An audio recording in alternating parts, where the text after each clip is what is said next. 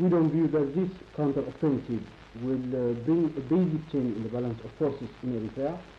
Uh, we will, as far as EPLF is concerned, and the Eritrean people in general, persist on the road of protracted people's war until the just demands of the Eritrean people for national independence are met.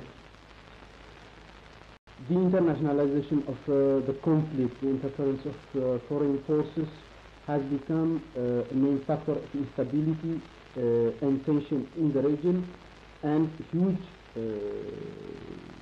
big portion of the Ethiopian economy, in fact 60% of its budget is being spent in the war in Eritrea.